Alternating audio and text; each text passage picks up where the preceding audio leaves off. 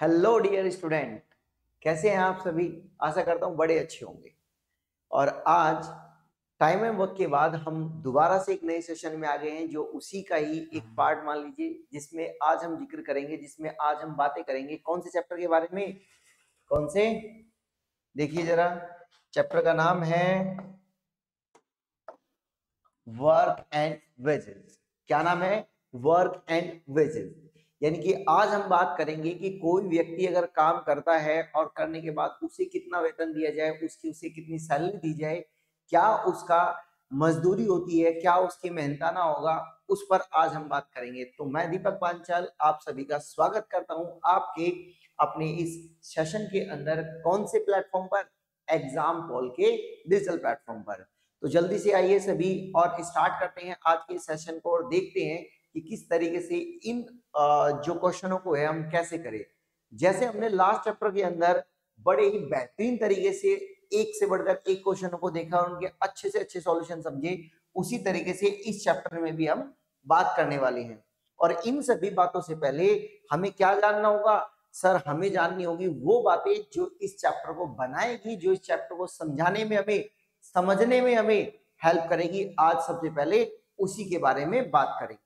तो हम बात कर रहे हैं क्या?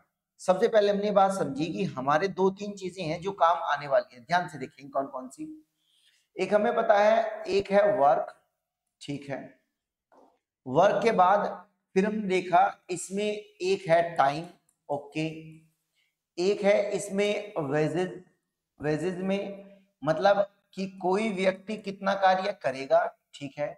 उसे कितना समय लगेगा काम को करने में, ठीक है।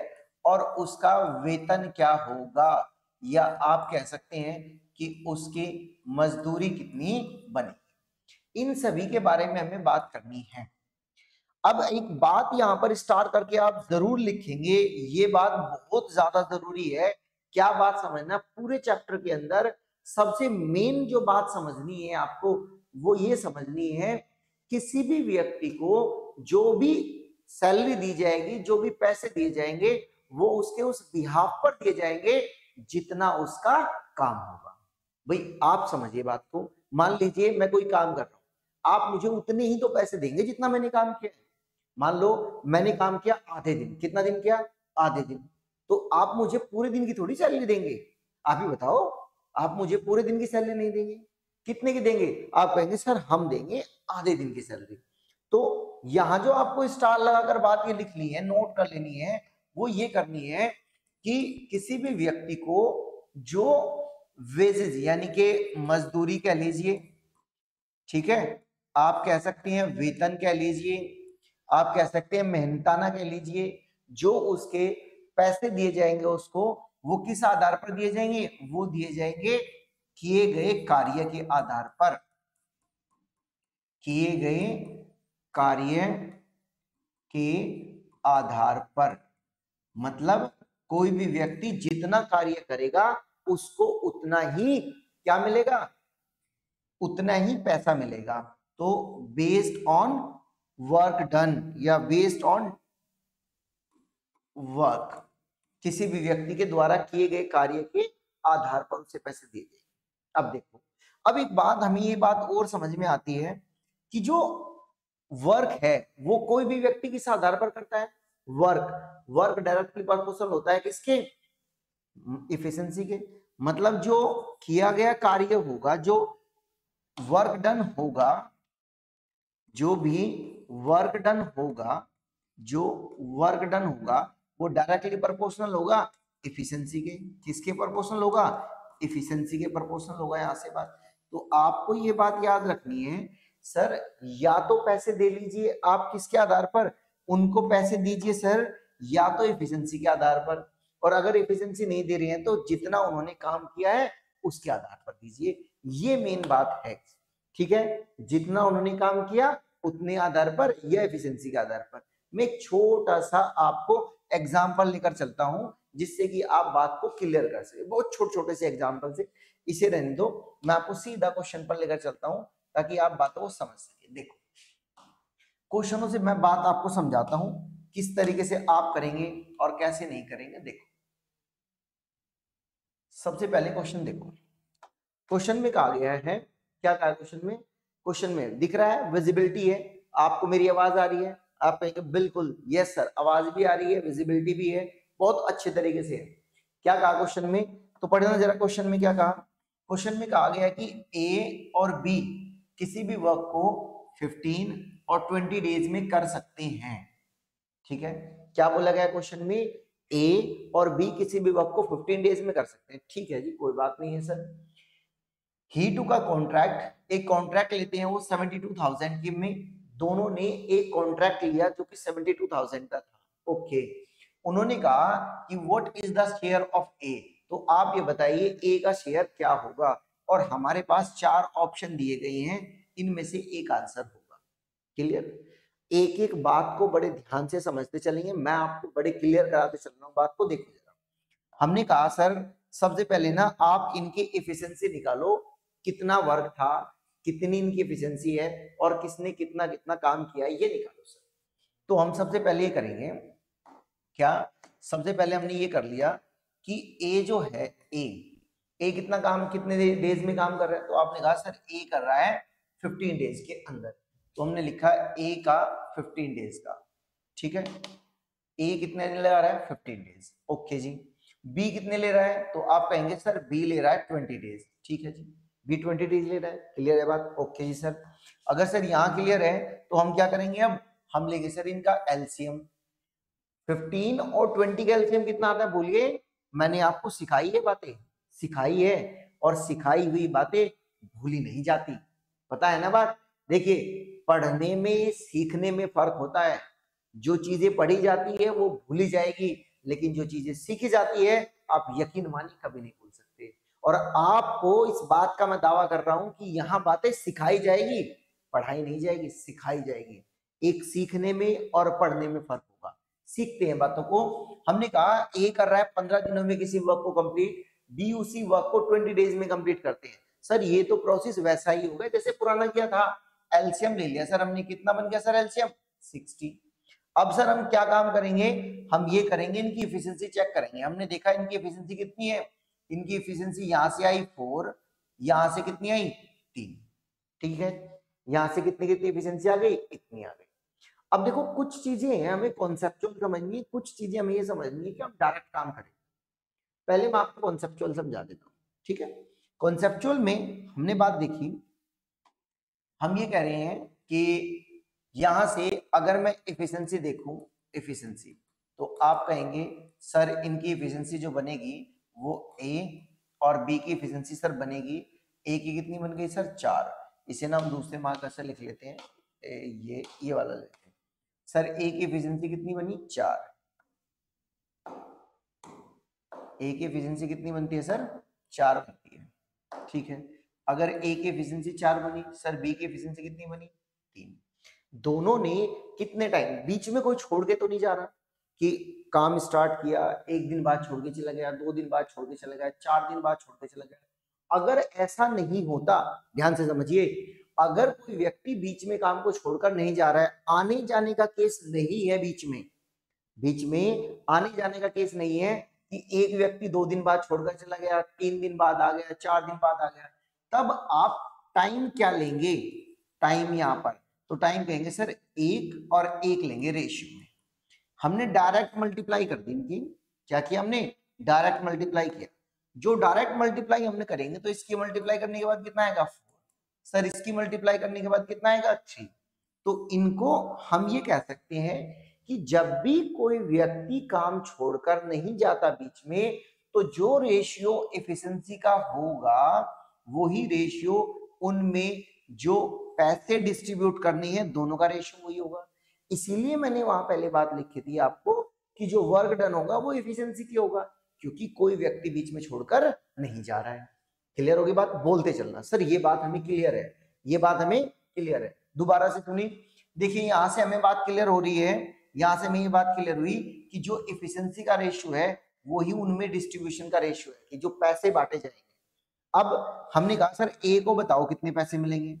सर टोटल पैसे कितने हैं? सेवन ए को कितने मिलने चाहिए, सर? चार.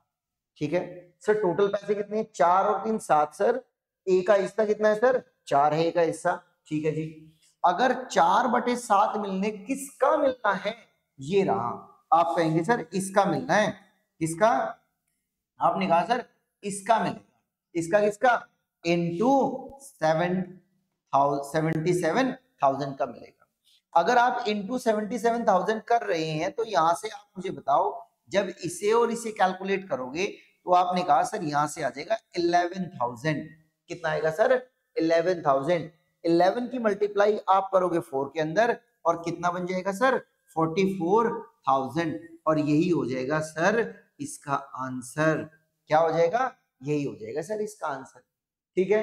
तो अब आप देखिए जरा क्या बना आंसर हमारा। हमारा आंसर बना forty four thousand option number C क्या आंसर है? ऑप्शन नंबर सी सर मज़ा आ गया। लेकिन सर एक और कराइए प्रैक्टिस के लिए क्वेश्चन सर मज़ा आ गया क्वेश्चन समझ में आ गया बहुत अच्छे तरीके से। एक और। अब मैं आपसे एक बात ये कहना चाह रहा हूँ, जब आपको ये क्वेश्चन करना ही था, तब आपको ना ये काम करना था। क्या काम करना था? सीधा इनकी इफिशियंसी ले लेनी थी। सीधा इनकी इफिशियंसी ले लेनी थी इफिशियंसी मतलब यहाँ से आगे डायरेक्ट यही करना था इफिशियंसी ले लेते। अगर डायरेक्ट ये लेते तो ए का शेयर क्या लिखते? यहाँ से चार बटे सात इंटू सेवेंटी सेवन थाउज़ेंड और सीधा फोर्टी फोर थाउज़ेंड लिख देते और ये आंसर बन जाता।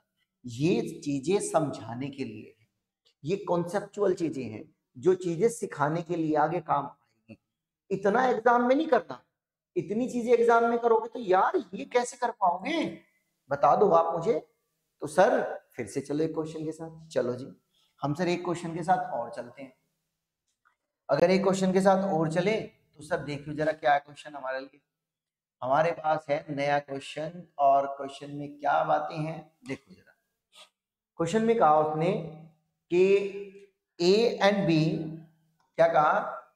ए और बी है दो व्यक्ति। Can complete a piece of work in ten और fifty sorry fifteen and ten days A और बी किसी वर्क को पंद्रह और दस दिन में कर सकते हैं। सर, यहाँ तक तो बात ठीक थी। और सर, बिल्कुल बिल्कुल सारी बात ऐसी कैसी है। ये वैल्यू चेंज है और बी का शेयर पूछा चलिए, वैसे करेंगे। सर, जैसे आपने अभी सिखाया हमें, हमने क्या सिखाया आपको? आपने कहा, सर, आपने हमें सिखाई ये बात कि ए का लिखिए पहले। ए का लिखा कितना, सर? 15 डेज़ सर बी का लिखिए अब, कितना सर? Ten days. आप ले लीजिए सर एलसीएम। और क्या कहेंगे एलसीएम से? बोलिए बोलिए बोलिए, पंद्रह और दस का एलसीएम बनता है थर्टी। कितना बनेगा? पंद्रह और दस का एलसीएम कितना बनेगा? थर्टी। मज़ा आ रहा है बात को लेकर। सही समझ में आ रही है बातें? आ रही है तो चलो तो फिर आ जाओ आ जाओ। A fifteen days sir question में बोला है B B ten days sir question में बोला है। हमने कहा एल्सियम ले लीजिए सर एल्सियम ले लिया थर्टी। अब यहाँ से हमें क्या मिला? अब यहाँ से मिलेगी हमें इफिशियंसी क्या मिलेगी? इफिशियंसी बोलो कितनी होगी? यहाँ से इसकी इफिशियंसी दो, इसकी इफिशियंसी ठीक है? कोई बीच में काम छोड़कर नहीं जा रहा है। एक दिन बाद, दो दिन बाद कोई छोड़ के नहीं जा रहा है। अगर काम छोड़कर नहीं जा रहा है तो क्या करेंगे? सीधा डिस्ट्रीब्यूट कर देंगे। तो बताओ जरा शेयर ऑफ़ बी कितना होगा? तो आप कहेंगे, सर शेयर ऑफ़ बी जो होगा ना, जो शेयर ऑफ़ ए लिखो पहले। शेयर ऑफ़ ए कितना होगा? तो शेयर ऑफ़ ए होगा टू बाई फाइव ठीक है? कितना होगा? Share of A two by five of thirty five thousand कितना होगा? बोलो। पाँच कितना होगा? इससे आपने कैंसिल आउट किया तो कैंसिल आउट करने के बाद यहाँ पर कितना आ गया? सात हज़ार। सात की मल्टीप्लाई यहाँ पर करेंगे तो फोर्टीन थाउज़ेंड आ जाएगा। ये तो सी ए का शेयर है। अब अगर हमें निकालना हो, सर आप ना मुझे बता दो बी का शेयर कितना होगा? तो आप लिखेंगे शेयर ऑफ़ बी कितना होगा? Three by sorry three by five of thirty five thousand इसे आपने फिर से कैंसिल आउट किया सेवन सेवन की मल्टीप्लाई यहाँ पर की तो कितना आया? ट्वेंटी वन थाउज़ेंड और यही था इस क्वेश्चन का आंसर कितना आया? ट्वेंटी वन थाउज़ेंड देखिए जरा, बात सही है क्या? दस, पंद्रह बी का शेयर था ए का शेयर है। दस, पंद्रह, तीस, ठीक है, पंद्रह दूनी तीस, दस दिए तीस ओके ये भी बात यहाँ तक क्लियर है।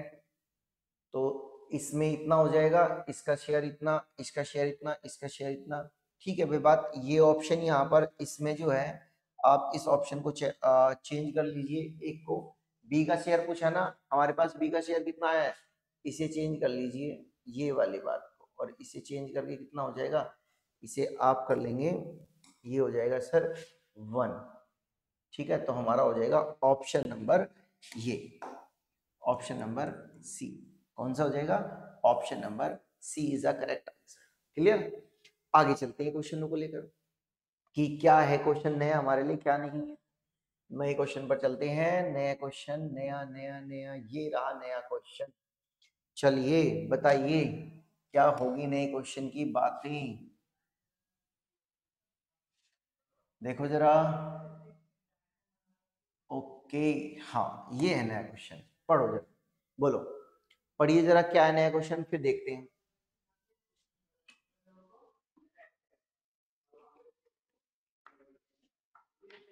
पढ़ा आप लोगों ने नया क्वेश्चन क्या है? इसने कहा, दो पर्सन है, एक का नाम है रशिका और एक का नाम है रश्मि, ठीक है? एक का नाम रशिका एक का नाम रश्मि।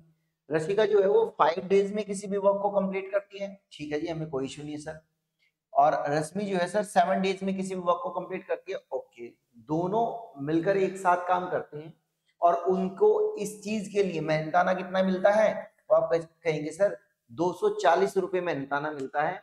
तो इसमें ये पूछा है कि रशिका का शेयर कितना है? और ऑप्शन हमारे सामने है ये। रशिका का शेयर पूछा बिल्कुल सर सेम प्रोसेस ऐसा ही है। कोई नई बात नहीं है। आपको जो बात बताई गई है, बिल्कुल जेनवन बताई गई है, वैसे ही करेंगे। कैसे करेंगे? देखो जरा। हमने कहा ए ए को कितना है? फाइव डेज़ बी बी का कितना है? सेवन एलसीएम तो दोनों का यही हो जाएगा क्योंकि दोनों के दोनों प्राइम नंबर है। क्या है दोनों? प्राइम नंबर प्राइम नंबर पर होने पर पैंतीस तो यहाँ सेवन आ जाएगा और यहाँ फाइव हमने कहा ए का शेयर निकालो। सॉरी ए नहीं। ये ये नाम जो है, ये नाम है एक का नाम क्या है? तो आपको आ, क्या नाम है एक का नाम है रशिका और एक का नाम क्या है रश्मि। एक का नाम रशिका एक का नाम रश्मि। तो जो रशिका है रशिका इसका शेयर कितना होगा? रशिका का शेयर होगा तीन सॉरी रशिका का शेयर होगा सेवन अपॉन सेवन अपॉन। दोनों का सम पाँच का और सात का और पाँच का सम कितना हो जाएगा? ट्वेल्व। किसका मिलेगा? जो टोटल कॉन्ट्रैक्ट था। टोटल कॉन्ट्रैक्ट टोटल कॉन्ट्रैक्ट कितने का है? दो सौ चालीस रुपए का। ठीक है? सेवन बाई ट्वेल्व पार्ट मिलेगा हिस्सा, जो कि रशिका के हिस्से में आएगा। किसका? दो सौ चालीस रुपए का। आपने कहा, सर कैंसिल आउट करके आ गया बीस। बीस दूनी चालीस। इसका मतलब इसे कितने रुपए मिलेंगे? आपने कहा, सर, एक सौ चालीस रुपए मिलेंगे। और अगर रशिका को इतने मिलेंगे तो रश्मि को कितने मिलेंगे? तो आप यहाँ से कह सकते हैं, कितने मिलेंगे? दो सौ चालीस रुपए का तो सर पूरा कॉन्ट्रैक्ट था। कितने कॉन्ट्रैक्ट था? दो सौ चालीस का। तो उसे सर क्या, कितने मिलेंगे? सौ रुपए मिलेंगे। अब बता दो जरा ऑप्शन देखकर क्या है। बोलो। बोलिए। ऑप्शन में आपने कहा, सर, देखिए, सौ भी है, एक सौ चालीस भी है, लेकिन हमसे किसका पूछा है? बताओ। हमसे पूछा है रशिका का। और रशिका को कितने मिल रहे हैं? एक सौ चालीस। तो option number D sorry option number C is a correct answer अब एक बात सुनो। यहाँ जो चीज़ें बताई जा रही है ना ये, जो ये चीज़ें हम कर रहे हैं, इन चीज़ों में आप ये समझिए कि आपको एक क्वेश्चन मिलेगा ही मिलेगा इसके जैसा। ठीक है? एक क्वेश्चन आपको ऑलमोस्ट इसके जैसा मिलता ही है वर्क एंड वेजेस पर। टाइम एंड वर्क में वर्क एंड वेजेस ज़रूर आता है। अब मैं छोटी सी इंफॉर्मेशन मैं आप लोगों को यहाँ बताता चलू। देखो, क्या है वो इंफॉर्मेशन वो इंफॉर्मेशन ये है कि जो टाइम एंड वर्क है time and work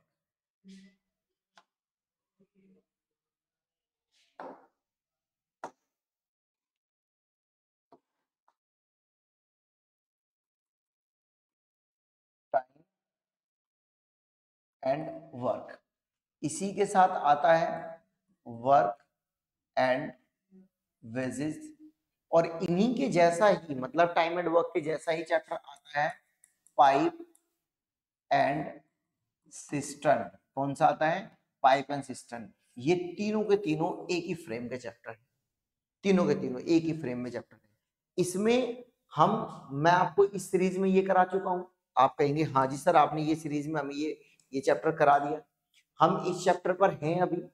बिल्कुल, ये तो चल रहा है। और कोशिश रहेगी, ये ज़्यादा बड़ा चैप्टर नहीं है। कोशिश रहेगी कि आज की एक सिंगल वीडियो में हम इसे कंप्लीट कर ले। उसके बाद जब हम अगले इसमें स्टार्ट करेंगे अगले बातों को तो अगली बातों में हम स्टार्ट क्या करेंगे? अगली बातों में स्टार्ट करेंगे पाइप एंड सिस्टम किस तरीके तो मैं एक सजेशन आपको देना चाह रहा हूँ। जैसे अभी तीन चार क्वेश्चन या दो तीन क्वेश्चन जो हमारे हुए हैं इन उनमें इन क्वेश्चनों में आपने क्या देखा? तो प्यारे बच्चों, आपने इनमें ये देखा, जैसे टाइम एंड वर्क में हम एल्सियम मेथड लगा रहे थे रेशियो मेथड लगा रहे थे, या जो कॉन्सेप्ट या जो चीज़ें हमने टाइम एंड वर्क में समझी है, उन्हीं के तरीके से, उन्हीं के स्टार्टिंग जो यूजेज है, हम वर्क एंड विज़िट में लगा रहे हैं। और मैं आप लोगों से ये बात कहना चाह रहा हूँ, आप टाइम एंड वर्क को बहुत अच्छे से पढ़ लो घर पर। बहुत अच्छे से पढ़ो। ठीक लेवल का पढ़ो। जितनी पढ़ाई मैंने बातें, वो सारी पढ़ो। पढ़ने के बाद उसकी प्रैक्टिस करो और फिर प्रैक्टिस करने के बाद जब मैं आपको पाइपन सिस्टम कराऊँगा ना तो पाइपन सिस्टम यकीन मानो आपको इतना आसान लगेगा, आप कहे, सर, हलवा है तो क्या होगा? इससे तो आप आराम से बिल्कुल, वो एम ही हो जाने क्वेश्चन इसके तो। ऐसे तो ये देखे जब आपने ये पढ़ा ये पढ़ा और ये पढ़ा, ये पढ़ने के बाद आप कह देंगे, सर, ले आओ क्वेश्चन कहीं से ले आओ, हमें कोई दिक्कत नहीं, सर। हम तो सर माहिर हो गए हैं। हमारे दीपक सर ने सिखा दी है सारी बातें।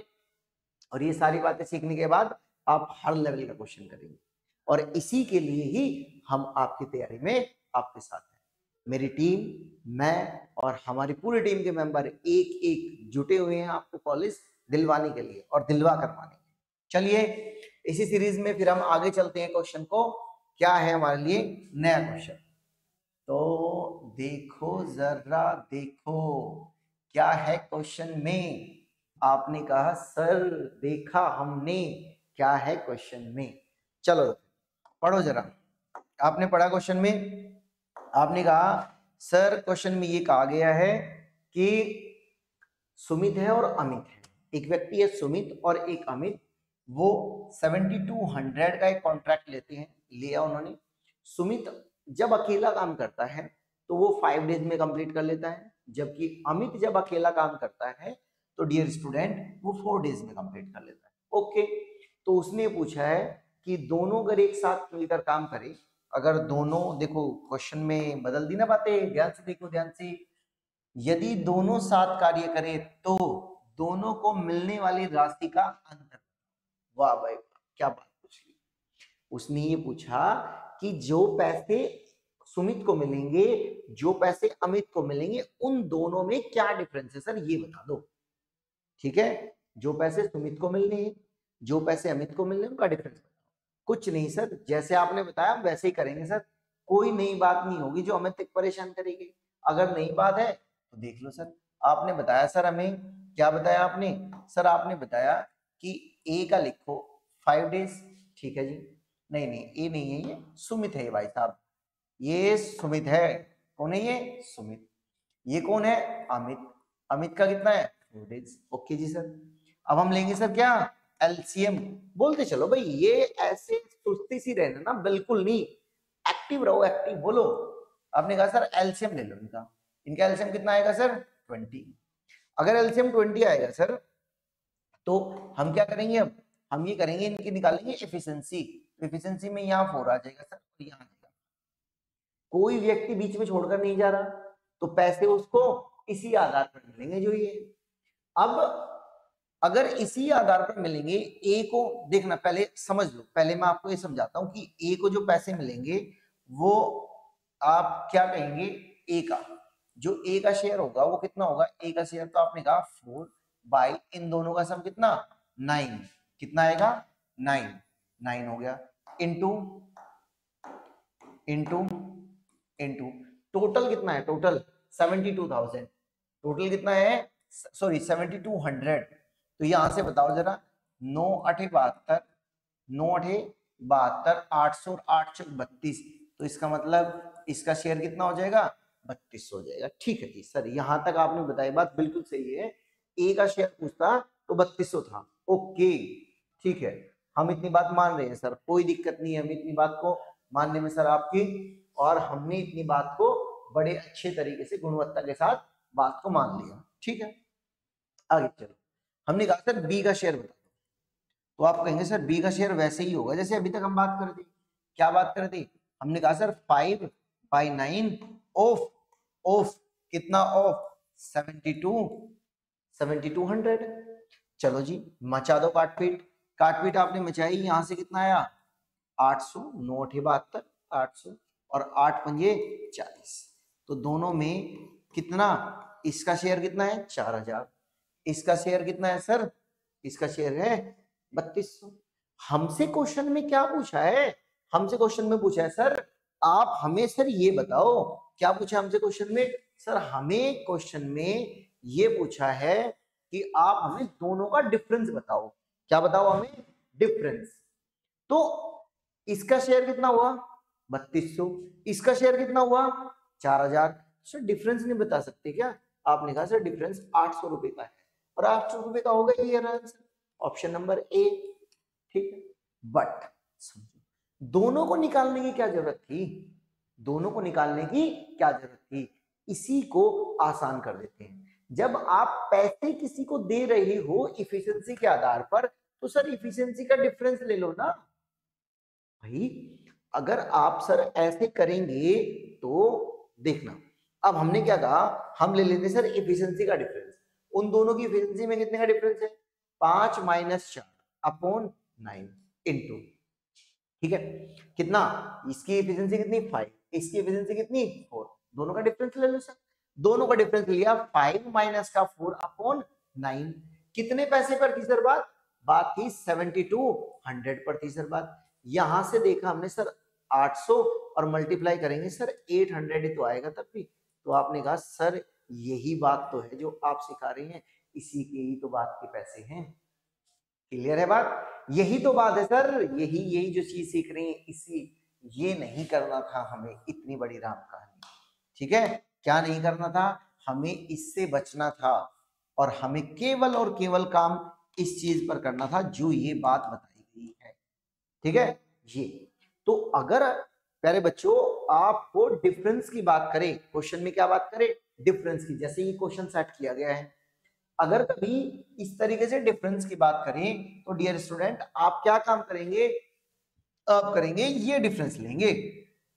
ठीक है? ऐसे ए बी नहीं निकालेंगे, सीधा डिफरेंस ले लेंगे एफिशिएंसी का और आप डायरेक्ट काम उम्मीद करता हूँ आपको ये बात अच्छे से समझ में आ गई है और इसी बात को मद्देनजर रखते हुए हम अगले पड़ाव की ओर चलते हैं, अगले क्वेश्चन पर चलते हैं और देखते हैं क्या है हमारे लिए नया क्वेश्चन। ठीक है? तो देखो जरा।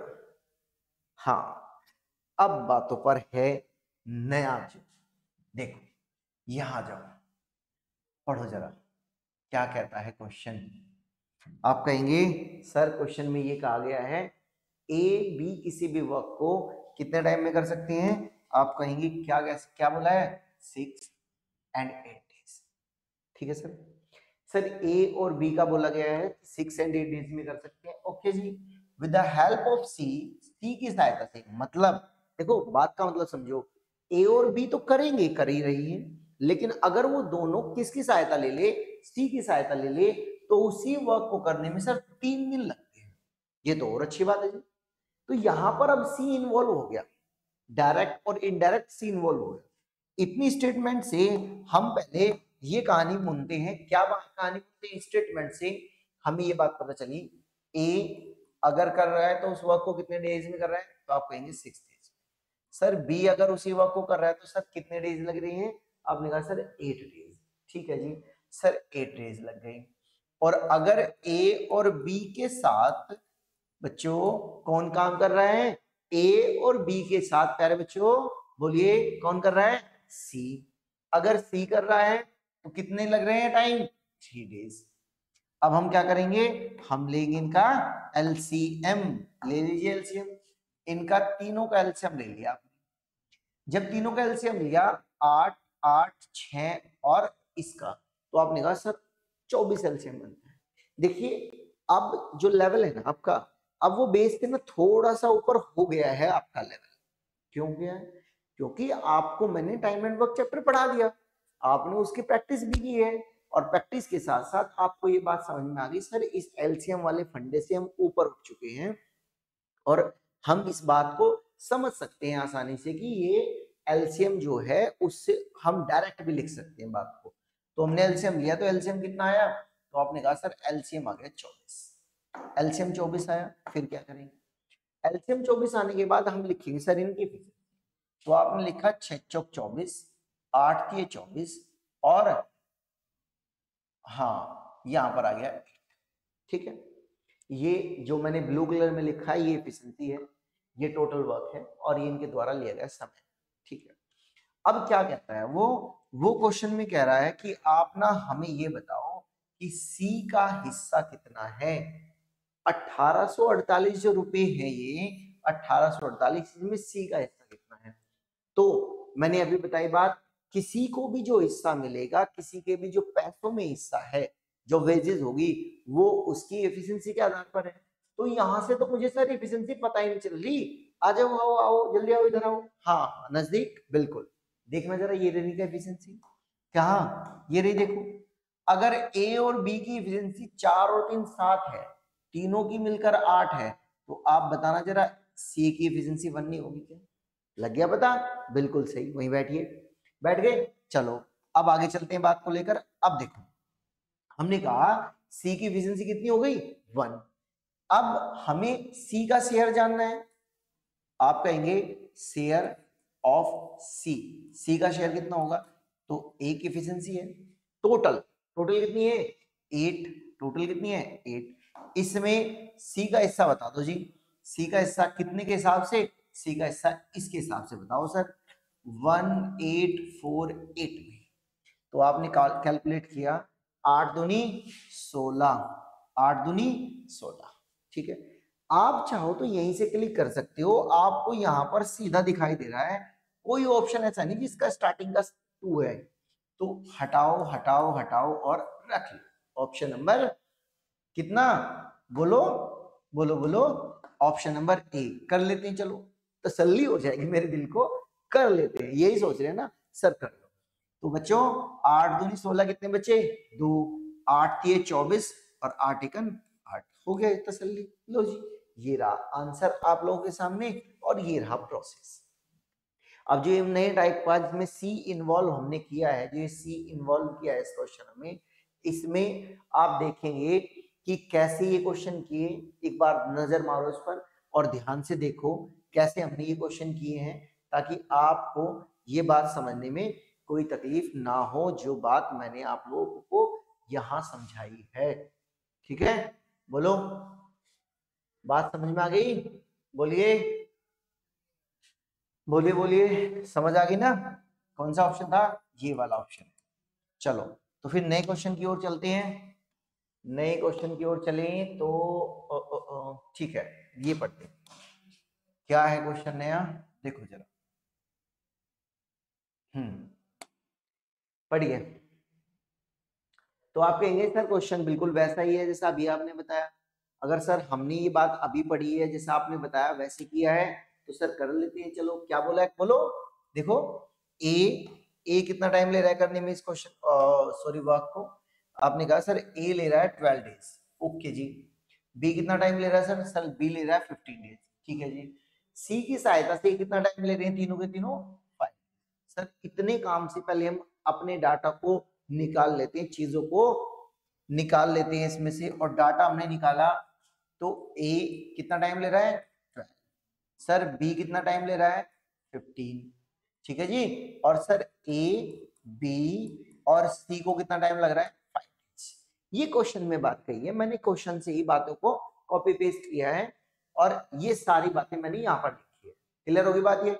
देखो, बात समझना। ए बारह दिन बी पंद्रह दिन ए बी सी पाँच दिन। क्वेश्चन में दिया है ये बोला। यहाँ से हम लेंगे बच्चों, क्या? एलसीएम एलसीएम में मैंने बताया आप लोगों को, जब आप यहाँ से एल्सियम लेंगे तो कितना बनेगा? पंद्रह, बारह और पाँच कैल्शियम बता दो, बताओ जल्दी से। आपने कहा, सर, साठ। कितना एल्शियम बना? साठ। यहाँ तक बात ठीक है, सर। बिल्कुल सही है, सर। अगर साठ एल्शियम बना तो सर, अब आप ये कर दो हमारे लिए इनकी ना इफिशियंसी और लिख दो, सर। आगे का काम हम खुद कर लेंगे। चलो जी इफिशियंसी भी लिख देते हैं आप लोगों के लिए। लीजिए। बारह पंजे। चेंज किया था। ऐसा कैसे हो गया? हाँ जी, ये लो। बारह पंजे साठ। पंद्रह चौके साठ। और यहाँ कितना आ जाएगा? बारह। देखो, इतना काम करने के बाद आपको ये तो पता चल गया ना कि सी की एफिशिएंसी कितनी है। पाँच पाँच, चार, नौ सी कितनी एफिशिएंसी रखता है? बोल दो बोल दो बोल दो। सी सर एफिशिएंसी रखता है। सी की एफिशिएंसी होगी। इन दोनों को जोड़ो, इसमें से माइनस कर दो और आ जाएगा तीन। बस, हो गया काम, यूँ था, यूँ। हो गया हो गया, चलो। अब देखो सी का पूछा होगा, कितना अच्छा ए का पूछा है यार सी का पूछा ही नहीं है। हम तो भ्रम में थे अब तक कि सी पूछा होगा पिछले वाले क्वेश्चन में। इन्होंने तो ए का पूछ लिया। कोई बात नहीं, सर, ये तो और भी काम आसान हो गया हमारे लिए। सर, ये काम तो और भी आसान हो गया। ठीक है? ठीक है जी। अगर और काम आसान हो गया शेयर ऑफ़ ए ए का शेयर ए की इफिशियंसी सर पाँच। टोटल इफिशियंसी सर बारह। ठीक है जी। कितने में से पैसे देने सर ये भी बता दो। चलो, जब आप हिसाब कर ही रहे हैं, अगर सर आप हिसाब कर ही रहे हो तो ये भी बता दो कितने में से देने हैं। तो आपने कहा सर 960 में से हिस्सा देना है। ठीक है जी। लो जी सर 960 में से हिस्सा दे दीजिए। अगर 960 में से हिस्सा दिए तो 12 अठे छियानवे नौ में से हिस्सा दिया, बारह अठे छियानवे और आठ पंजे चालीस। तो कितने पैसे मिलेंगे इसको? चार सौ रुपए मिलेंगे, सर। कितने मिलेंगे, सर? चार सौ रुपए मिलेंगे। और अगर चार सौ रुपए मिलेंगे तो बता दो कौन सा ऑप्शन होगा? Option number D. कौन सा ऑप्शन होगा? ऑप्शन नंबर डी चल नहीं रहे हाँ चलेगा। ऑप्शन नंबर डी इसका करेक्ट आंसर ठीक है? समझ गए? बच्चों, बोलिए। बातें क्लियर है? अच्छे तरीके से? बात समझिए ना? हाँ जी। बोलते रहो। क्लियर है? चलो तो फिर। अब हम और प्रैक्टिस करते हैं। सर, पहले क्वेश्चन से हमें कॉन्सेप्ट क्लियर हुआ। हल्की फुल्की किसी को दिक्कत रही, सर? दूसरा क्वेश्चन सर आपने बता दिया। हम एक बात बिल्कुल फिट है। बिल्कुल समझ में आ गई, सर। अब क्या है? अब सर प्रैक्टिस के लिए क्वेश्चन है। देखो, तीन चार फ़ेज़ में काम होता है। समझ? बात को मेरी। तीन चार फ़ेज़ में कैसे काम होता है? सर, तीन चार फ़ेज़ में इस तरीके से काम होता है कि एक मिनट इस तरीके से होता है।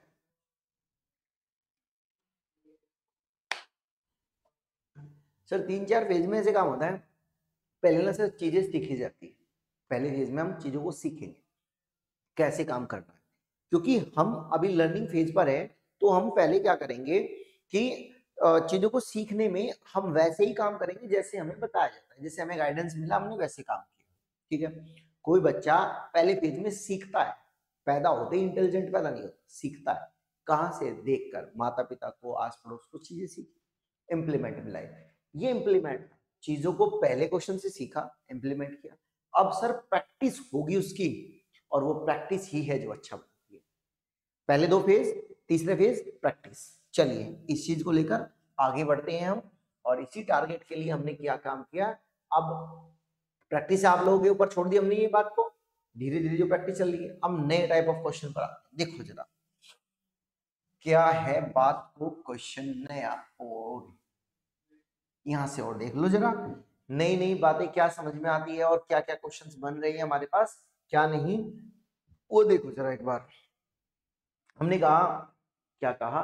ए किसी भी वर्क को कितने डेज़ में कर रहा है? सिक्सटी थ्री डेज़ में। ओके जी सर बी का शेयर पूछा शेयर ऑफ़ बी पूछा कितना होगा? यदि दोनों मिलकर उसी वर्क को थर्टी सिक्स डेज़ में करते हैं। वाजी वाह क्या क्वेश्चन में बात बोली? क्या बोली? ए का दिया है, दोनों का दिया है, केवल बी का पूछा है। कितने पैसे में से मिल रहा है? पाँच हज़ार नौ सौ पचास रुपए में से five thousand nine hundred fifty में से बी को कितना शेयर मिलेगा? सर बी को शेयर देने से पहले आपको सर हमें ये बताना होगा बी की इफिशियंसी कितनी है। तभी तो कर पाएँगे हम काम। आपने ये तो बात सिखाई सर सर पहले हम ये बताओ बी की इफिशियंसी कितनी है? तब हम उसका हिस्सा बता देंगे सर। तो निकालो चलो तो फिर हमने कहा ए कितना पैसे आ, कितना टाइम लगा रहा है? ए लगा रहा है सिक्सटी थ्री आवर्स ठीक है ये आर्स वाली बात यहाँ से सर ए और बी सर तो 36 यहाँ से हम लेंगे अब इनका सर एलसीएम क्या लेंगे? एलसीएम ठीक है जी। एलसीएम ले लेते हैं। अब एलसीएम में तो इनका मल्टीपल ढूंढना मुश्किल हो जाएगा तो क्या? इनमें से प्राइम नंबर निकाल। यहाँ से मैंने प्राइम नंबर निकाल लिया नाइन फोर और सेवन ठीक है, ये इनका एलसीएम जब हमने एलसीएम से डिवाइड करने की कोशिश की एलसीएम को इन नंबरों से डिवाइड करने की कोशिश की तो मुझे पता चला, सर, यहाँ पर तो आया चार। एलसीएम से, सर, मैंने इसको डिवाइड करने की कोशिश की तो सर, यहाँ पर आया सेवन पता चल गया जी। इससे मुझे क्या पता मिला, क्या सर मुझे बात समझ में आई? मुझे समझ में आया कि, सर बी की जो इफिशियंसी है ना वो seven minus four that is three कितनी है सर बी की efficiency seven minus four that is three sir कैसे? देखिए जरा ए और बी की एफिशिएंसी सेवन अकेले ए की एफिशिएंसी सर फोर अगर मैं इसमें से इसे माइनस कर दूँ तो बी रह जाएगा। यही तो किया हमने काम। यही तो किया। और कुछ नई बात? नहीं जी सर नई बात नहीं थी। तो चलो बी की एफिशिएंसी पता चल गई। क्या पूछा है? शेयर ऑफ़ बी अब तो नहीं कोई दिक्कत आएगी सर, हमें शेयर ऑफ़ बी निकालने में। शेयर ऑफ़ बी बी का शेयर कितना होगा? तो आप कहेंगे, सर बी का जो शेयर होगा उसकी, उनकी एफिशिएंसी कितनी है? थ्री टोटल टोटल कितनी है? टोटल है सेवन कितने में से पैसे देने हैं, सर? पैसे देने हैं, सर, इतने में से। कितने में से? पाँच हज़ार नौ सौ पचास में से। कितने रुपीज़ में से? पाँच हज़ार नौ सौ पचास में से शेयर देना है। अब बताओ जरा हम यहाँ से अगर देखें कैंसिल आउट करें तो आप कहेंगे कि, सर कैंसिल आउट अगर हम करते हैं तो कैंसिल आउट इससे करो इनको। सात सते सात अठे छप्पन, ठीक है जी कैंसिल आउट कर देंगे। सात किन का पूछा है, शेयर? बी का पूछा है ना, बी का। अच्छा सात अठे छप्पन, कितना आ गया? सात अठे छप्पन। कितना रह गया? दो। तीन, चार बोलो, तीन रहता है। सात से करेंगे, पाँच, ज़ीरो। तो अब हमारे पास रह गया थ्री इंटू एट फिफ्टी कितना आएगा? मल्टीप्लाई करो जरा। ज़ीरो। तीन पंजे पंद्रह, एक। ठीक मल्टीप्लाई कर रहे हैं। तीन पंजे पंद्रह, एक और तीन अठे चौबीस और एक, पच्चीस। तो कितने रुपए बन रहे हैं उसके?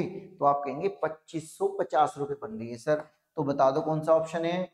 बोलो, कौन सा ऑप्शन है? यहाँ से ये रहा सर ऑप्शन कौन सा option option number C option number C तो बताइए बात, समझ में आ गई क्या? जो ये बात हमने की है, बहुत आसान सी, बेहतरीन से जो कॉन्सेप्ट आप लोगों को सिखाए जा रहे हैं। एक से बढ़कर एक लेवल के क्वेश्चंस जो हम कर रहे हैं, जिससे कि हमारे वो लेवल भी तैयार हो जाए जो वो टच कर सकते हैं और हम उन लेवल को छू ले उनको भी प्रैक्टिस कर लें, जिनकी आने की संभावनाएँ हैं। तो इन सभी संभावनाओं को देखते हुए, इन सभी चीज़ों को देखते हुए आपके लिए डाटा तैयार किया गया है। आप इसकी प्रैक्टिस करें और अच्छे से बात को समझते चले। ठीक है? चलिए तो फिर चलते हैं हम आगे की ओर बातों को लेकर। क्वेश्चनों को क्लियर करते हैं, कैसे अब हमें बातें और समझनी है। ठीक?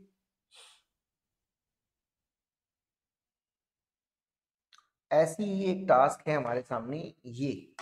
इसे भी आप समझने की कोशिश करें। ठीक है? अब ये टास्क समझे क्या है? देखो, देखिए जरा। क्वेश्चन में क्या कहा गया है? क्वेश्चन में कहा गया है कि ए ए कोई पर्सन है, ये 27 आवर्स में किसी भी वर्क को कंप्लीट कर सकता है okay working alone A can complete a work in 27 hours यदि ए अकेला काम करे तो किसी भी वर्क को टाइम में कंप्लीट करेगा? 27 आवर्स ठीक है जी sir.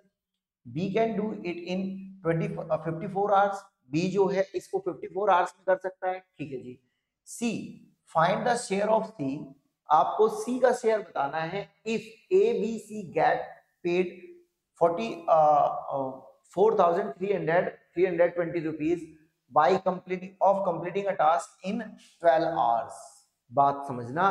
जब सी ए बी सी बारह घंटे में कर सकते हैं किसी भी काम को, तीनों मिलकर। तो इनको कितने पैसे मिलते हैं यहाँ पर तीनों के? इसमें मिलते हैं चार हज़ार तीन सौ बीस रुपए। ऐसा ही क्वेश्चन था जो बात अभी समझाई थी।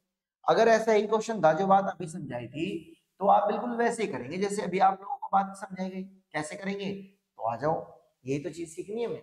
देखे जरा, क्या बात बताई? हमें कहा गया, सर ए ए का ऐसा दिया है हमें। ठीक है? क्या दिया सर ए का?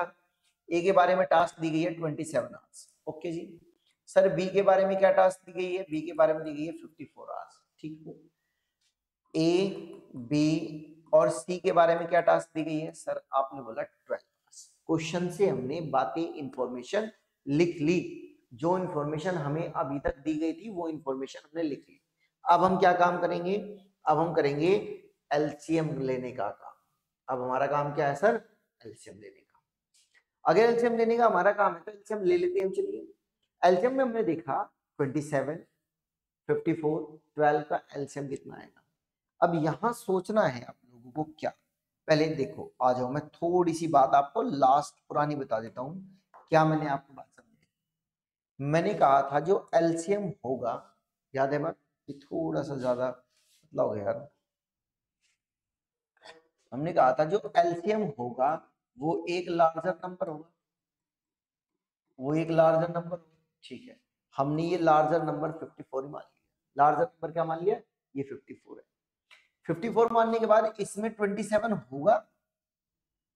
ठीक है? 27 होगा इसमें। 27 किससे मिलकर बना है? 9 से। नौ दिए सत्ताईस। नौ इसमें आता है।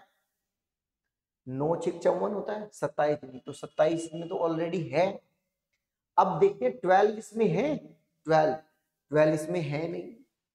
तो ट्वेल्व का नौ छिक चौवन छह आने के बाद केवल इसमें दो रह जाता है, सिर्फ़ दो। अब इसके अंदर ट्वेल्व भी है, इसके अंदर फिफ्टी फोर भी है, इसके अंदर ट्वेंटी सेवन अब इस एलसीएम से जो ये बात हमारे सामने आई, हमने एलसीएम निकाला इसका। क्या निकाला हमने इसका एलसीएम? बोलिए। हमने इसका एल्सियम देखा। सर, इसका एल्सियम आया है जो, वो आया है, इसको ना हम यहाँ यहाँ लिख ले ये इसी से लिख लेते चलिए। इसका एल्सियम आया है फिफ्टी फोर इंटू टू क्या एल्सियम आया है? फिफ्टी फोर इंटू टू इसका एल्सियम आया इसका एल्सियम ये आने के बाद अब हमारा क्या काम है? बोलो, हमारा काम है सर एफिशिएंसी निकालने का। एफिशिएंसी निकाली सर, यहाँ आया दो। एफिशिएंसी निकाले सर, यहाँ ही वन एफिशिएंसी निकाली हमने कितने है यहाँ पर? देखिए बारह अगर छह दल ले लेता हूँ तो कितना आ जाएगा? नाइन। कितना आ जाएगा? नाइन। देखिए जरा, आएगा नहीं क्या? छह इस तरफ़ चला गया, नौ छिक चौवन छह आने के बाद देखो, मैं समझाता हूँ, मैं समझाता हूँ। कोई नहीं कोई नहीं, आ जाओ। मैं समझाता हूँ। हमारे पास जो नंबर था, वो था फिफ्टी फोर इंटू टू हमें इसमें से ट्वेल्व से डिवाइड कर देखना जरा ट्वेल्व से अगर मैं इसको डिवाइड करूँ, आपने कहा, सर, दो से डिवाइड कर लो, छह आ सर, छह से डिवाइड कर दो, इसको नौ आ गया। तो ये नौ जो आया है ना, जो रिजल्टेंट ये आया है, यही तो हमने एफिशिएंसी में लिखा है यहाँ पर। बच्चों, समझ में आ रही है ना बातें? तो बच्चों, अगर बात समझ में आ रही है तो देखिए जरा, यही तो हमने यहाँ पर लिखा है। कोई नई बात थोड़ी लिखी है? ठीक है? अगर नई बात नहीं लिखी है तो देखो जरा। इतना लिखने के बाद अब उसने क्या कहा है? उसने कहा है कि सी का शेयर बताओ कितना शेयर ऑफ़ सी बताओ। तो सबसे पहले हमें सी की इफिशियंसी निकालनी होगी मैंने अभी बात समझाई आपको सी की इफिशियंसी तो सी की इफिशियंसी कितनी होगी बेसिकली सी की इफिशियंसी होगी ए और बी की इफिशियंसी अगर मिलाकर तीन है ए बी सी की इफिशियंसी मिलाकर नाइन है तो सी कितनी इफिशियंसी रखता है? सर, आप कहोगे, सर, छह इफिशियंसी रखता है सी अकेला। अब शेयर ऑफ़ सी बता दीजिए। अगर सर शेयर ऑफ़ सी बताना है हमें तो क्या करो? सी की इफिशियंसी अपॉन टोटल इफिशियंसी ठीक है जी सर? सी की efficiency upon total efficiency into total share total share कितना था? ये रहा टोटल शेयर कितना? तैतालीस सौ बीस. टोटल शेयर यही तो है, तैतालीस सौ बीस. इतना मिल गया तो करो डिवाइड अगर डिवाइड हो जाता है, देखते जरा. नौ से अगर डिवाइड करें, नौ चौक छत्तीस, चार, कितने रह गए? नौ चौक छत्तीस, सात रह गए और नौ अठे बहत्तर. तो बेसिकली हमें मिला सिक्स इंटू फोर एट्टी कितना मिला? सिक्स इंटू फोर एट्टी छ चौक चौबीस। छ चौक चौबीस जरा देखिए हम, तीन से सत्ताईस दूनी चौवन, ठीक है? चौवन बात बिल्कुल ठीक है, यहाँ तक तो ये बात सही है। शेयर सी का शेयर बताना है हमें बात बिल्कुल क्लियर है बत्तीस सौ इसमें सी की इफिशियंसी है सिक्स टोटल इफिशियंसी है नाइन ओके सी की efficiency six total efficiency nine छः बटे नौ नौ से डिवाइड किया, नौ चौक छत्तीस, नौ चौक छत्तीस चार, कितने रह गए? सात, नौ अठे बहत्तर ज़ीरो इसकी मल्टीप्लाई कर लेते हैं।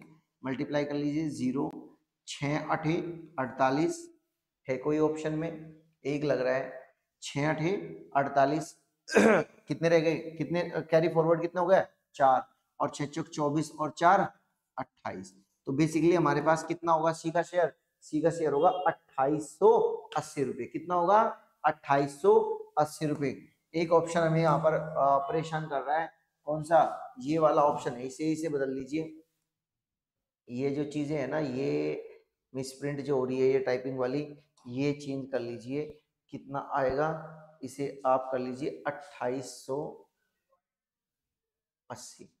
तो ऑप्शन जो है हमारे पास कौन सा? Option number C.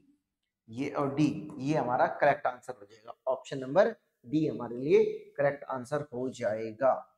ठीक है? चलिए तो फिर नए क्वेश्चन की ओर बढ़ते हैं बात को लेकर। क्या है नए क्वेश्चन में हमारे लिए? एक बार देखते हैं बातों को। हाँ ये जो नए टाइप की बात आई है ना, इसको एक बार देखो जरा, ध्यान से। क्या आया है नए टाइप का ये क्वेश्चन देखो। इसी बात को समझने से पहले आपको ना कुछ छोटी सी बातें समझनी होगी, ठीक है? चलो, मैं आपको यहाँ समझाता हूँ। ये बात हमने टाइम एंड वर्क में भी समझी थी, ये बात यहाँ भी समझ लेंगे। क्या है बात? ये तरह समझने की कोशिश करना। हमने कहा, ये मान लीजिए टोटल वर्क है, ऐसे समझो। ये मान लीजिए टोटल वर्क है। ये टोटल वर्क है। ठीक है? इसे हमने ऐसे हिस्सों में तोड़ लिया। चार हिस्सों में हमने तोड़ लिया इसको। चार हिस्सों में तोड़ने के बाद हम कह रहे हैं, इसका एक हिस्सा ये है, एक हिस्सा ये वाला हो गया। ठीक? एक हिस्सा इसका ये वाला हो जाएगा, एक हिस्सा ये वाला हो गया। ओके जी? आपने कहा, सर, एक हिस्सा इसका ये हो जाएगा, एक हिस्सा ये हो गया, सर, इसका। ठीक है जी। और सर, एक हिस्सा ऊपर वाला हो गया। ठीक है? ये। अब अगर मैं ये रेड वाला पूछूँ, जो ये रेड पार्ट है, जो रेड पार्ट है, ये टोटल का कितना है? तो सर, आपने कहा, एक, दो, तीन, चार। सर टोटल इससे चार है और उसमें से एक हिस्सा है ये। टोटल लिखा जाता है बच्चों, नीचे डिमिनेटर में और जो हिस्सा एक्चुअल में वो है, वो लिखा जाता है क्लियर बात ये हम मानकर चल रहे हैं टोटल हिस्से कितने हैं? चार चार में से टोटल हिस्से में से सर रेड जो है वो पार्ट एक है। वैसे ही, बच्चों, बताना जरा, अगर मैंने कहा कि जो ये येलो पोर्शन है या येलो पार्ट है, ये कितना है? सर आप कहेंगे, सर ये भी वन बाई फोर है। क्योंकि ये एक है, केवल ये वन पार्ट ये इतना हिस्सा केवल वन अब अगर हम इस बात को कुछ ऐसे मिक्स करें, जैसे मान लो मैंने आपसे ये पूछ लिया कि रेड और येलो पार्ट दोनों को मिलाइए। और अब बताओ बच्चों, ये कितना है? रेड और येलो पार्ट को मिलाओ। मतलब आप इन दोनों हिस्सों को मिलाकर बात कर रहे हैं कि इतना हिस्सा बताओ। आपने कहा, सर, इतना ये था, इतना ये था।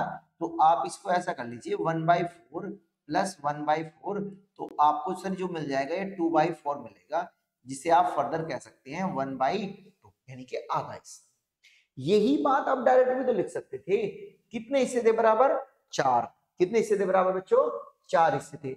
चार में से मैं दो की बात कर रहा हूँ। तो चार में से अगर इसे आप और करके लिखते तो आप ये भी तो लिख सकते थे। क्या लिख सकते थे? टोटल है सर चार हिस्से। हम कितने हिस्से की बात कर रहे हैं बच्चों? एक, दो। दो हिस्सों की बात कर रहे हैं। तो चार में से दो हिस्सों की बात कर रहे हैं। देखना ये बात, ये भी तो फर्दर वन बाई टू में बदल रही अब अगर हम ये कहें यहाँ से रेड से अगर मैं रिमेन पार्ट बात करूँ रिमेन की बात करता हूँ चलिए। मैं यहाँ से आपसे पूछना चाह रहा हूँ रिमेन हिस्सा कितना होगा? रेड वाले के साथ। आप कहेंगे, सर रेड अगर कितना है? रेड अगर है वन बाई फोर तो बाकी हिस्सा, सर, कितना बचा होगा? आप इनका ना सर डिफरेंस ले लीजिए, कितना? तीन। और जो टोटल है वो लिख दीजिए। हो गया काम। क्या किया सर आपने? डिफरेंस लिया, सर। डिफरेंस लेने के बाद जो डिमिनेटर लिखा वैसे लिख दिया। ठीक है? सर, आप ऐसा ही करके हमें यहाँ भी बता दीजिए। आपने सर इनका डिफरेंस ले लीजिए। रिमेन यहाँ पर कितना बचेगा? यहाँ पर रिमेन कितना बचेगा? डिफरेंस लिया आपने एक अपोन में सेम वैल्यू लिख दी इतना। देखना, अगर आधा ये हिस्सा था, ये इतना हिस्सा, अगर आधा ये हिस्सा इतना है तो ये कितना बचा है? तो ये भी तो आधा ही बचा है। यही बात। अब क्वेश्चन आपको इसी फ्रैक्शन पर है बात। अब जो राम कहानी है, सारी क्वेश्चनों की है वो इसी फ्रैक्शंस पर है। देखना जरा किस तरीके से है बातें, किस तरीके से नहीं। हाँ ये रहा क्वेश्चन जो हमें क्वेश्चन समझना है, वो ये रहा। पढ़ो क्वेश्चन उसने कहा A and B do three by five part and the remaining work and the remaining work is completed by C मतलब ए और बी ने three by five part complete कर दिया। यहाँ से समझना कितना? ए और बी जो है, जो ए और बी है, दोनों ने मिलकर थ्री बाई फाइव पार्ट इतना पार्ट वर्क का कंप्लीट कर दिया।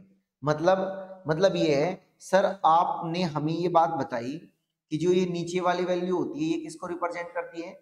ये रिप्रेजेंट करती है टोटल टोटल को। और सर ये वाला जो हिस्सा होता है, ये किसको रिप्रेजेंट करता है? ये हिस्सा करता है प्रजेंट पार्ट किसको रिप्रेजेंट करता है? प्रजेंट पार्ट को रिप्रेजेंट करता है। ठीक है जी? अब अगर हमें सर रिमेन पार्ट चाहिए तो रिमेन के लिए सर आपने हमें बताया कि रिमेन के लिए आप क्या करेंगे? इनका डिफरेंस सर दो आ जाएगा। कितना आएगा सर दो आएगा। इनका डिफरेंस ही तो रिमेन है। अगर टोटल पाँच है, तीन काम ए और बी ने कर दिया तो सी के हिस्से में कितना है? आप ही बता दो चलो। बता दो आप ही। आप कहेंगे, सर दो ही तो करेंगे। छोटी सी बात है, बच्चों वाली बात है, आप बता देंगे सर ये दो। अब अगर इसको मैं वैसे ही रिप्रेजेंट करूँ, जैसे यहाँ फ्रैक्शन में हम कर रहे हैं तो सी कितना हिस्सा कंप्लीट करेगा? टू बाई फाइव ठीक है? टू बाई फाइव यानी कि पाँच में से दो हिस्सा भी करेगा। अगर इतना काम करेगा तो पैसे भी उतने मिलेंगे। कोई व्यक्ति जितना काम करेगा तो पैसे उसे उतने तो दिए जाएँगे। अगर सी जो है वो टू बाई फाइव पार्ट कर रहा है तो सर पैसे भी उतने दो उसको। अगर आप पैसे उतने ही दोगे तो किसके मिलेंगे? कितने टोटल पैसे दे पाँच हज़ार। हमने पाँच हज़ार का टू बाई फाइव दिया। आपने इसे कैंसिल आउट किया वन थाउज़ेंड मल्टीप्लाई करोगे टू थाउज़ेंड आ जाएगा। और आपने कहा, सर, यही इसका बेहतरीन सा सॉल्यूशन और बेहतरीन सा आंसर है। ऑप्शन नंबर क्या? सी कौन सा option number C is a correct answer बाकी हमारे काम कर ये हमने सीखा। मैंने बताई अभी बात। थोड़ी देर पहले बताई थी। क्या बताई थी? हमने ये बात सीखी। क्या करेंगे अब? अब इंप्लीमेंट अभी अपने बात सीखी, अब बातों को करेंगे इंप्लीमेंट चीज़ों को अप्लाई करेंगे। फिर क्या करेंगे सर? फिर करेंगे प्रैक्टिस चलो जी, अगर हमने बात सीख ली, सीखने के बाद चलो तो। अब हम इस पर करते हैं काम। चलिए, अब हम इस पर अगर ये काम करें तो हम यहाँ से बात समझते हैं क्या देखो जरा, हमारी यहाँ से बात समझ में आई, क्या बात समझ में देखना हमने कहा कि एक है सैंडी मैंडी। देखो क्या नाम रखे यार। कुछ भी यार, कुछ भी नाम रख दो। कुछ भी। सैंडी मैंडी किसी भी वर्क का कितना हिस्सा? ओहो। ठीक है। हाँ भाई। सैंडी है एक भाई साहब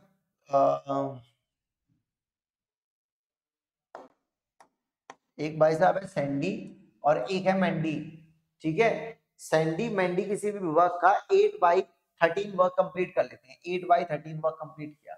रिमेन वर्क एंडी ने किया। देखो क्या नाम रखे। सैंडी, मैंडी एंडी तो wow.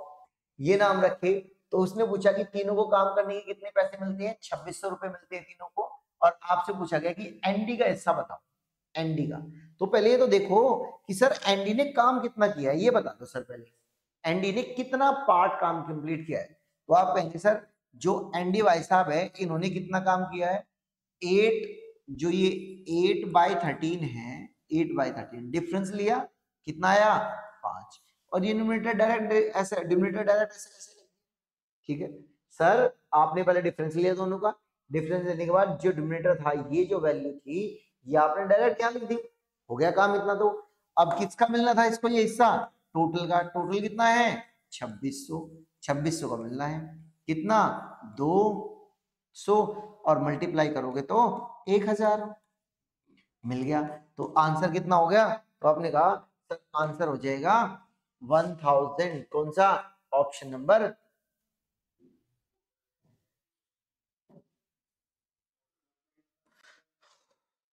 option number A sorry D option number D is a correct answer बताइए, यहाँ तक बातें समझ रहे हैं, बातें समझ में आ रही है, बहुत अच्छे तरीके से क्लियर है बातें।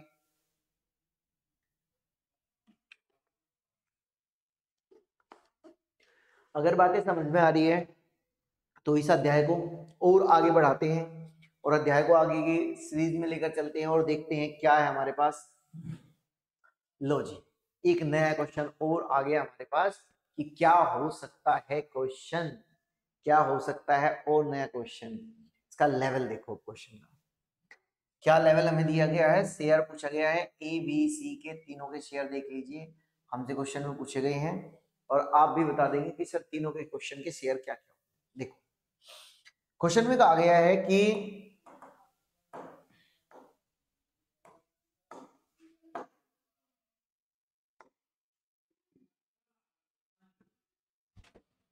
क्वेश्चन में क्या बोला उसने? पढ़ो। क्वेश्चन में कहा कि ए बी सी किसी का वर्क के लिए कितने पैसे चार्ज करते हैं? उनको मिलते हैं seventy eight thousand sorry hundred ठीक है?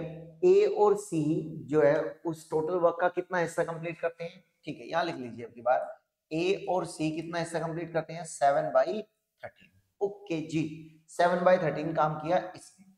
तो देखो इस पेयर से अगर बात देखिए चलो दूसरा लिख लीजिए। बी और सी बी और सी कितना कंप्लीट करते हैं? तो आप कहेंगे सर एट बाई थर्टीन इतना हिस्सा में दिया गया प्रत्येक का हिस्सा पूछा गया हम सबसे पहले एक ही पेयर को यूज़ करके अगर ये देखें कि किसमें से कौन सा आ, आ सकता है। ए और सी दिया पहले में तो यहाँ से बी निकल सकता है जैसे हमने किया। अगर मैं इसका डिफरेंस ले लू यहाँ से इसके लिए लिखते हैं बी यहाँ से कितना आएगा? तो आप कहेंगे डिफरेंस ले लो इसका। डिफरेंस लिया आपने तो बी आ जाएगा सिक्स बाई बहुत आसान सी बात। पिछले वाली बात से हमने देखा। डिफरेंस अपॉन डिमिनेटर बिल्कुल सेम टू सेम अब इसी तरीके से, इसी बात को यूज़ करते हुए, इस वाले हिस्से से जो ए है, वो कितना आ सकता है? तो आप कहेंगे, सर ए जो इससे आएगा ना ए जो आएगा, वो आएगा इन दोनों का डिफरेंस आठ और पाँच तेरह। इन दोनों का डिफरेंस डिफरेंस कितना है? फाइव और सर, ये न्यूमिनेटर एज इट इज़ लिख दीजिए। कुछ हमें तकलीफ़ नहीं है, इतनी बात समझ में आ रही है, जैसे आपने आपको बताई है और हम सीखते जा रहे हैं। ठीक है? हमें ए मिल गया बी मिल गया। चाहो तो सी निकाल लो, नहीं चाहो तो कोई दिक्कत की बात नहीं, इतने से काम चल जाएगा। कैसे? आ जाओ। आओ आओ, इधर आओ। आओ, देखो कैसे। हमने कहा बी का जो शेयर होगा, वो सिक्स बाय थर्टीन होगा। कितने का? टोटल रुपीज़ देखो, ये रहे आपने कहा सेवेंटी एट हंड्रेड का। तेरह छिके अठहत्तर, छह सौ छह सौ की मल्टीप्लाई इसमें करेंगे तो बी का हिस्सा कितना आया सर? तो आप कहेंगे, सर बी का जो हिस्सा है ना, वो है छत्तीस सौ। बी का हिस्सा कितना है? छत्तीस सौ। सर, ये ऑप्शन नहीं हो सकता। ये ऑप्शन अरे यस नहीं यस क्या? सर, ये ऑप्शन नहीं हो सकता, ये ऑप्शन नहीं हो सकता। क्यों नहीं हो सकता, सर? देखिए, बीस में पैंतालीस है। अरे यार, फिर से इसमें ना मैं ऐसे कर देता हूँ। लीजिए, ये नहीं हो सकता, ये नहीं हो सकता। क्यों नहीं हो सकता, सर? बी यहाँ पर कितना है? पैंतालीस सौ। बी यहाँ पर कितना है? कितना है बोलो? सैतीस सौ। अब क्योंकि बी यहाँ पर छत्तीस सौ है, यहाँ पर छत्तीस सौ, दोनों में से कोई सा हो सकता है। तो अब एक बात बोल देगा बस। ए देख लो, ए कितने का होगा? ए कहेंगे, टोटल कितना है? टोटल है सेवेंटी एट हंड्रेड यहाँ से आपने डिवाइड किया 600 600 की मल्टीप्लाई इसमें करेंगे तो कितना आ जाएगा? तीन हज़ार आ जाएगा। आ जाएगा तीन हज़ार? बोलो, तीन हज़ार आ जाएगा। तो इससे हमें ये बात पता चल गई कि कौन सा केवल और केवल आंसर हो सकता है, वो हो सकता है ऑप्शन नंबर ए डी भी नहीं हो सकता। कौन सा हो सकता है बच्चों? ए हो सकता है डी भी नहीं हो सकता। उम्मीद है आपको ये बात बिल्कुल अच्छे से समझ में आ रही है। क्या हमने किया, कैसे इस लेवल के क्वेश्चन को हम डील करते हैं और क्या नहीं? क्योंकि हमने पहले रखी नींव, हमने तैयार की नींव और उसके ऊपर बनाया अब हमने ये मकान। इस मकान का ही है जो ये हमने तैयार किया। सबसे पहले रखी नींव। उस नींव में हमने देखा कि कैसे डिफरेंस लेकर हम ये काम कर लेते हैं, कैसे कर लेते हैं। जैसे ये पहले हमने दो क्वेश्चन में, तीन सब में सिखाया, वैसे हमने अप्लाई कर दिया। आगे बढ़ते हैं सर और आगे चलते हैं सर चीज़ों को सीखते चले, बढ़ते चले आगे। ठीक है? ओके। अब देखो। हाँ। अब यहाँ से जो क्वेश्चन आते हैं, थोड़ा उन्हें ध्यान से समझे। अब क्या क्वेश्चन स्टार्ट होते हैं और क्या नहीं होते, वो थोड़ा सा समझते चलना बातों को। यहाँ अब हमारे, हमें जो है, फोकस की नीड है। बहुत अच्छे फोकस की नीड है। किस फोकस की नीड है? देखना जरा क्वेश्चन में अब स्टार्ट हो जाता है अगर कोई व्यक्ति काम छोड़कर जाता है। अभी तक हम किसी भी व्यक्ति को डायरेक्ट इफिशियंसी के आधार पर पैसे दे रहे थे।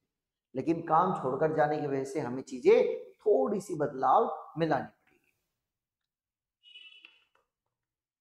काम छोड़ने की चीज़, आधार पर हमें चीज़ों को बदलाव में लाना पड़ेगा। कैसे लाना पड़ेगा?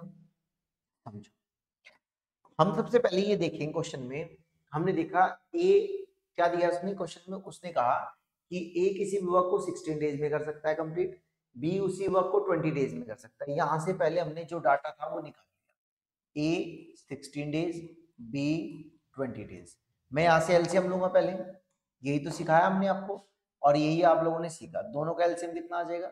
सोलह पची अस्सी यहाँ पर अस्सी एलसीएम आ जाएगा। अस्सी एलसीएम आने के बाद हमने क्या बात सीखी? हमने सीखा सोलह पंजी अस्सी और बीस चौक अस्सी। इतनी बात तो हमने सीख ली।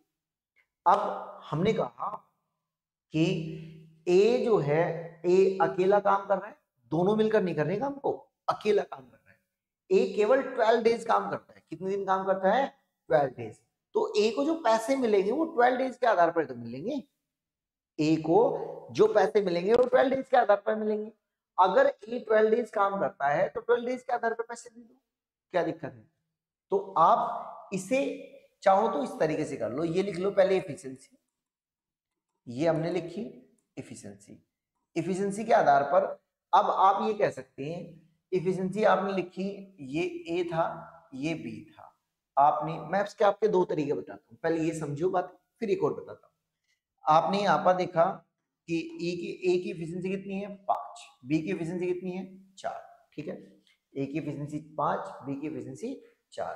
ए कितने दिन काम कर रहा है? बारह दिन। इसे ऐसे लिखो। इसे दूसरे उससे लिख लेते हैं। हाँ ना, इससे लिखते हैं। हाँ। ए ने कितने दिन काम किया? बारह दिन। क्या आपको यहाँ ये पता है कि बी ने कितने दिन काम किया? नहीं पता ना। क्योंकि उसने ये कहा है कि ए काम से वर्क को बी करता है अकेला। उसके बाद छोड़ने के बाद। अब इस कॉन्सेप्ट के अंदर यहाँ पर हमें पहले ये देखना होगा कि ए एक्चुअल में कितने दिन काम कर रहा है। हमें क्या देखना होगा? हमें देखना होगा बी सॉरी बी कितने दिन काम कर रहा है? ए ने 12 दिन अगर काम किया, यहाँ देख लेते हैं। ए ने कितना वर्क किया होगा? इफिशियंसी कितनी है? ए की ए की इफिशियंसी है पाँच। बारह दिन तक अगर वो काम करता है तो आप कहेंगे, sir sixty unit work complete किया होगा किसने? ए ने। टोटल वर्क कितना था, सर? टोटल वर्क था, सर, अस्सी। अगर टोटल वर्क अस्सी है तो बी ने कितना वर्क किया होगा? बी ने वर्क किया होगा अस्सी माइनस का साठ तो बी के हिस्से में कितना वर्क आया होगा? केवल करने के लिए। सर, बीस यूनिट वर्क आया होगा बी के हिस्से में काम करने के लिए। अब अगर बी के हिस्से में आएगा तो डेज़ कितने होंगे बी के? ठीक है? बी के डेज़ तो आप कहेंगे बी के डेज़ कितने होंगे? तो बी के डेज़ होंगे ट्वेंटी अपॉन फोर तो बी ने जो है वो फाइव डेज़ काम किया है कितने डेज़ काम किया है? फाइव डेज़ काम किया है। बी ने तो हम यहाँ पर इसके लिए क्या लिख देते हैं? यहाँ पर लिख देते हैं हम फाइव और हम इनकी मल्टीप्लाई कर दें हम इनकी मल्टीप्लाई कर दें। और अगर मल्टीप्लाई करें तो बारह पच्चीस साठ। ठीक है। यहाँ से देखिए पाँच चौक बीस। ये करें तो यहाँ से कितना आ जाएगा? तीन और एक। कितना आएगा? तो आपने कहा सर यहाँ से आएगा हमें मिलेगा तीन ऐसे लिख लेते हैं, हमें मिलेगा थ्री रेशियो वन तो ए को जो पैसे मिलेंगे वो तीन के हिसाब से बी को पैसे मिलेंगे इसके हिसाब से. तो यहाँ आप लिखेंगे, अगर आप लिखें तो शेयर ऑफ़ ए कितना होगा? Three by four share of A कितना होगा? थ्री बाई फोर थ्री हिस्सा इतना टोटल कितना? चार. तीन बटे चार. कितने का? कहा लिखा हुआ देखो जरा, दो हज़ार का. कितने का? दो हज़ार का. अगर 2000 के हिसाब से देखें तो इसे डिवाइड किया आपने कितना आ जाएगा? 1500 आ जाएगा। और ये हिस्सा किसका है? तो आपने बताया, सर, ये हिस्सा है ए का। अगर ए का हिस्सा 1500 है तो क्वेश्चन में यहाँ देखो लिखा हुआ है, ये रहा। क्वेश्चन में यहाँ लिखा हुआ है कि अगर ए को 1500 मिलते हैं तो बी को कितने मिलेंगे? 500 रुपए ये तो थी बात इसकी कॉन्सेप्चुअल जो मैंने आपको अभी बात समझाई। ठीक है? समझा दी, इसके लिए अब दूसरी बात समझो। जो बात मेन थी। क्या बात मेन थी? वो समझो। हमें क्या कहा गया था? ए सोलह दिन। ऐसे तो बोला शायद। देखना जरा। ए सोलह बी बीस। क्या कहा? ए सोलह बी बीस। तो एक दिन का काम कितना होगा? As one day work A का एक दिन का काम कितना होगा? ए का एक दिन का काम होगा, इसका ना रिवर्स कर देते हैं वन बाई सिक्सटीन क्या कर देते हैं? रिवर्स कर देते हैं टोटल का उल्टा कर देते हैं। तो एक दिन का काम कितना होगा? एक दिन का काम होगा वन बाई सिक्सटीन अब क्वेश्चन में अगर आप लोगों ने ध्यान से पढ़ा है क्वेश्चन में कहा गया है कि बी ए ने कितने दिन काम किया है? ए ने काम किया ट्वेल्व डेज़ अभी मैंने सबसे पहले क्लास में बताया था अगर ए ने ट्वेल्व डेज़ काम किया है ट्वेल्व डेज़ काम किया है तो ट्वेल्व डेज़ का कितना काम होगा? ट्वेल्व डेज़ का कितना वर्क होगा? तो आप कहेंगे twelve into one by sixteen ये कितना आया? थ्री बाई फोर ये कितना आया? थ्री बाई फोर जब आप इसे सिंप्लीफाई करेंगे तो थ्री बाई फोर आएगा। ए का एक दिन का काम निकाला सर हमने पहले।